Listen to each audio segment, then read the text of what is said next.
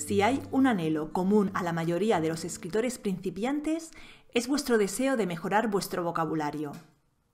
No es de extrañar, ya que la realidad señala que un ciudadano medio español no utiliza habitualmente más allá de mil palabras, y solo los muy cultos llegan a las cinco mil. Por eso, hoy voy a contarte cinco cosas que puedes hacer para mejorar tu vocabulario. Te adelanto desde ya que son cosas muy sencillas, consejos que seguramente ya has recibido en otras ocasiones. Pero es que, una vez más, no hay un super truco ni una fórmula mágica por la cual un escritor pueda adquirir de pronto un mejor vocabulario. Si es eso lo que buscas, aquí no lo vas a encontrar. Si todavía no le has dado al stop y sigues conmigo, te doy la bienvenida. Tal vez ya me conozcas, soy Natalia Martínez, profesora de novela en sinjania.com, y esto es Madera de Escritor. Sea seguidor acérrimo de nuestros episodios o sea hoy la primera vez que nos escuchas, te quiero dar las gracias por estar al otro lado. E invitarte a que conozcas también nuestro blog, en el que todas las semanas publicamos los mejores artículos para escritores con ideas para que mejores tu estilo y escribas mejor. Para que seas un escritor más productivo y para que gestiones tu carrera con acierto. Pásate a echarle una ojeada porque estoy convencida de que te va a interesar. Lo encuentras en sinjania.com barra blog. Vamos al tema de hoy. ¿Cómo mejorar el vocabulario? Hemos comenzado diciendo que un ciudadano medio español no utiliza habitualmente más allá de mil palabras, y solo los muy cultos llegan a las cinco mil. Mil palabras no parece una cifra muy grande, ¿verdad? Lo cierto es que todos tenemos un lenguaje más amplio del que usamos. Es decir, tenemos un lenguaje activo, que es el que usamos en nuestro día a día, y tenemos un lenguaje pasivo, que es aquel formado por palabras cuyo significado comprendemos aunque no las usamos de manera cotidiana. Aunque nuestro lenguaje pasivo puede suponer varios miles de palabras, el lenguaje activo se reduce a unos pocos centenares de términos. El español tiene casi 300.000 vocablos distintos, sin contar variaciones, tecnicismos o regionalismos lo que implica que usamos un mínimo porcentaje de nuestro acervo lingüístico.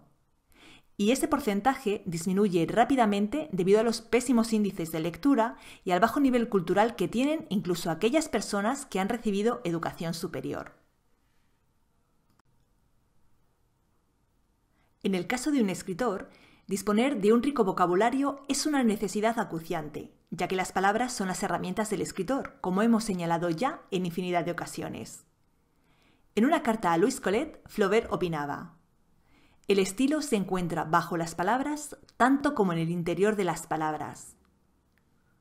Las palabras son los ladrillos con los que construyes tus textos, el conjunto de tu obra. Con ellas das forma a tu estilo y creas personajes, situaciones y mundos completos. Escribir no es otra cosa que transformar ideas en palabras. Pero tienen que ser las palabras justas, apropiadas, exactas. Elegir mal tan solo una palabra puede desvirtuar por completo toda una idea. Es indudable que, como escritor, tienes que tener un vocabulario extenso, rico, caudaloso. Cuando ese vocabulario amplio falta, se percibe enseguida. Los textos carecen de riqueza léxica y en ellos a menudo se repiten una y otra vez las mismas palabras y las mismas expresiones. Se usan frases hechas que no son más que clichés que restan viveza y expresividad al texto. Los personajes no tienen un registro propio y todos se expresan del mismo modo. Tampoco es posible distinguir una voz propia en el caso del narrador. A menudo se usan fuera de contexto palabras cuyo significado exacto el autor desconoce. Se eligen palabras bonitas o altisonantes aunque no se ajusten al sentido del texto. Relacionado con lo anterior, el texto está trufado de palabras y frases grandilocuentes que resultan afectadas, impostadas. Es lo que Augusto Monterroso, en su obra Viaje al centro de la fábula, denomina frases notorias, y remata, en cuanto la prosa se ve, es mala. En general, el estilo es pobre, plano, carece de la fuerza expresiva que un texto literario debe tener. Cuando el lenguaje falla, a menudo también lo hacen la sintaxis y la ortografía. En general, la falta de un vocabulario extenso es uno de los males más comunes de los escritores noveles. Mal que empeora cuando el escritor trata de paliarlo afectando un estilo pretendidamente literario que no maneja muy bien. Tener un lenguaje amplio es, por tanto, un objetivo deseable para cualquier escritor, también para ti. Por eso hoy voy a repasar algunas de las cosas que puedes hacer para mejorar tu vocabulario. Vaya por delante que no hay una fórmula fácil, nunca la hay. Que tu vocabulario mejore pasa principalmente porque leas mucho, bueno y variado. Y también porque el tiempo transcurra para que las palabras que la lectura te enseña se asienten y pasen a formar parte de tu habla cotidiana, de tu lenguaje activo. Como te imaginarás, mi primera recomendación para mejorar tu lenguaje es que leas. En un grupo de escritores en Facebook Alguien preguntaba una vez por el número de lecturas anuales de sus miembros. Las respuestas eran francamente descorazonadoras. Había quien confesaba leer un par de libros al año, y algún otro que decía haber leído una media de 12 libros anuales, pero que tras la llegada de las redes sociales ese número había descendido todavía más. No se puede llegar a ser un buen escritor si no se es un ávido lector. Leer es, de hecho, el mejor curso de escritura que puedes hacer. Leer un libro al mes es una media muy pobre para alguien que aspira a dedicarse a las letras. Leer todavía menos de 12 libros al año es no ya paradójico, sino francamente inconcebible. Es como si alguien que ni siquiera hace ejercicio aspirase a ser atleta olímpico. Por otro lado, no hay que perder de vista la necesidad o el interés que tiene cualquier escritor en fomentar la lectura. Porque si las personas no leen, ¿quién comprará tus libros? Ten presente que si el índice de lectura es malo, la venta de libros también lo es. Y eso no es bueno para ti, porque dificulta que puedas desarrollar una carrera de escritor plena y te obliga a vivir en precario. Pero no puedes pedirles a los demás que hagan aquello que tú mismo no haces. Por eso debes predicar con el ejemplo, ¿no crees? Leer es el mejor curso de escritura que puedes hacer, impartido además por los mejores profesores. En los libros encuentras el uso de técnicas y recursos ya aplicados con acierto por los grandes maestros. Solo tienes que prestar atención. En Sinjania te recomendamos un régimen de 50 libros al año. Por eso cada año lanzamos un reto de lectura donde te damos 50 ideas para 50 lecturas. Te enlazo el desafío de este año, al que todavía estás a tiempo de unirte. En lo relativo a mejorar tu vocabulario, en los libros es donde están todas las palabras.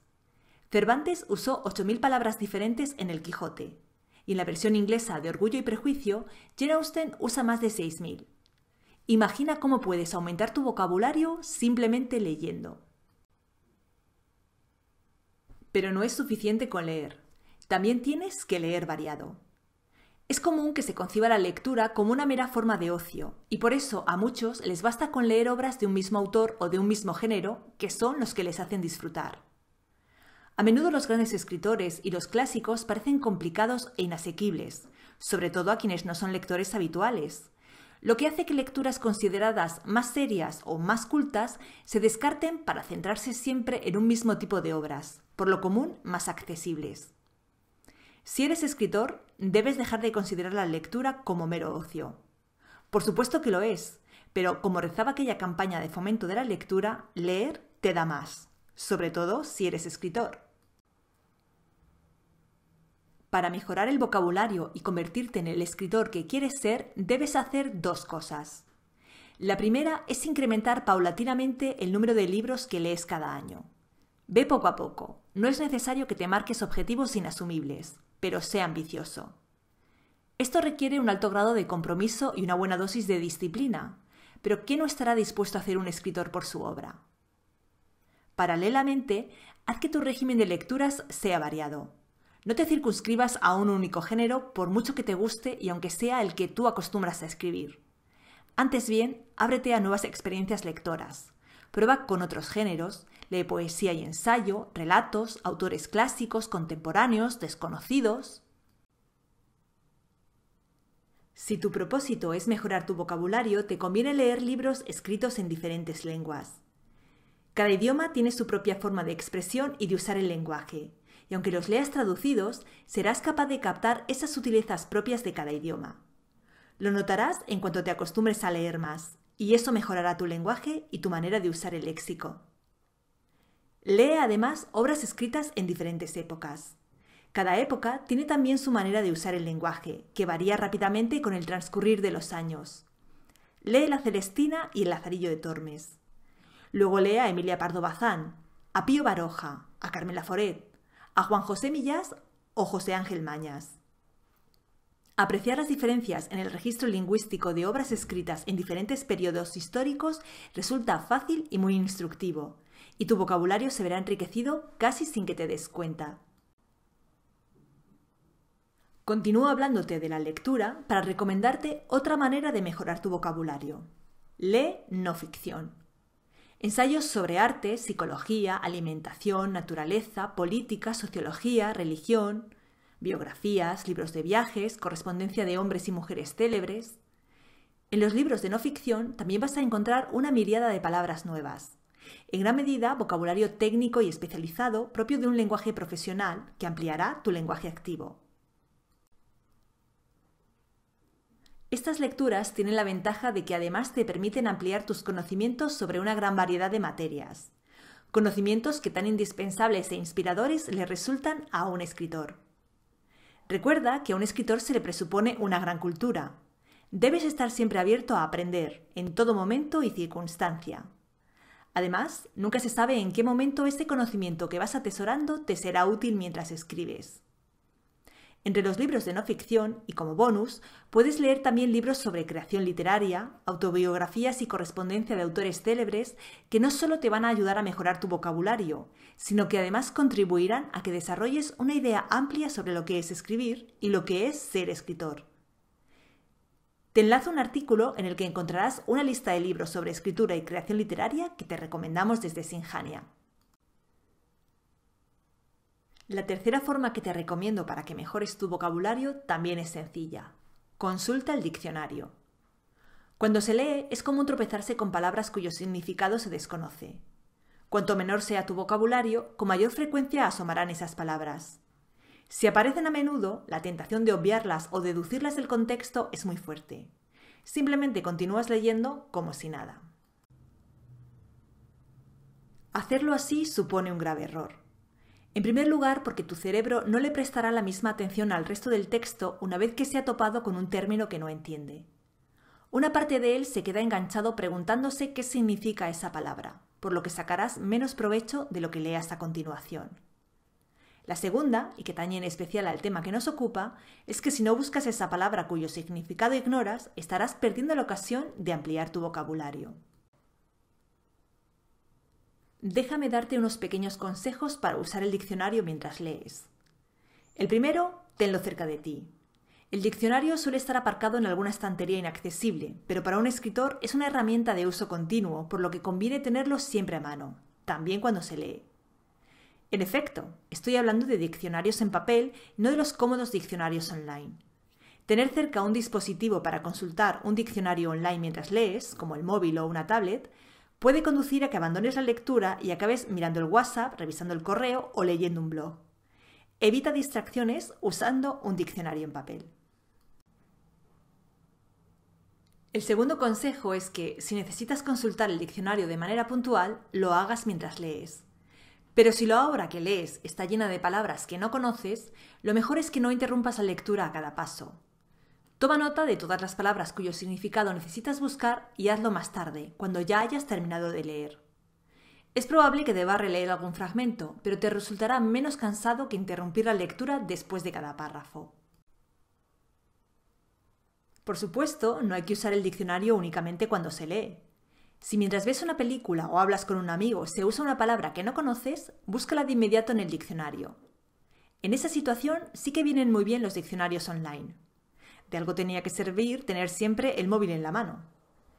Por cierto, no te limites a buscar palabras. Cualquier dato o situación que despierte tu curiosidad y sobre el que creas que puedes informarte mejor es una oportunidad para ampliar tus conocimientos. Hoy todos llevamos Internet en el bolsillo. Nunca acceder al conocimiento fue tan fácil. De acuerdo, ya tienes la costumbre de consultar el diccionario cuando no conoces una palabra. El problema es que los nuevos términos que encuentras no se te quedan en la memoria y de hecho no es la primera vez que buscas de nuevo un término que ya has buscado y cuyo significado se te ha olvidado. A mí también me pasa, no te preocupes. Para fijar una palabra en tu mente y que pase a formar parte de tu lenguaje activo, lo que tienes que hacer es usarla.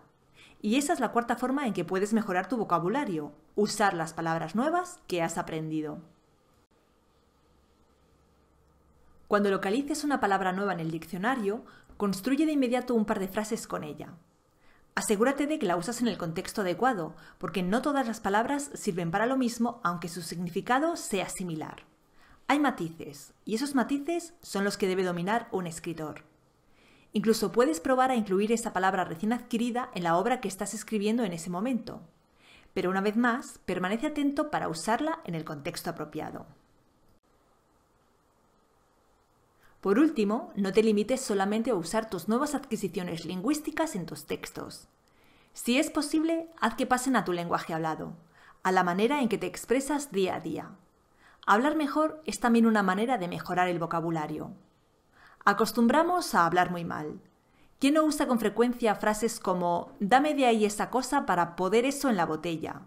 En lugar de dame de encima de la mesa el embudo para poder echar el vino en la botella. Omitimos palabras, las acortamos, usamos muletillas y frases hechas. En general nos esforzamos muy poco en hacernos comprender, sobre todo en un ámbito coloquial, y si no fuera porque nos apoyamos en gestos y onomatopeyas, o por la buena voluntad de nuestros oyentes, a veces comprendernos resultaría harto difícil. Como ya he comentado, nuestro vocabulario se empequeñece día a día, y algunos sectores de la población, especialmente los jóvenes, tienen ya serias dificultades para usar un habla formal, la que usamos en el trabajo, por ejemplo. Así que un buen paso para mejorar tu vocabulario puede ser simplemente esforzarte en hablar mejor. No uses términos como cosa o chisme o eso. Usa la palabra a la que te refieres. Trata también de hacer frases completas y bien estructuradas. Si hablas mejor, escribirás mejor.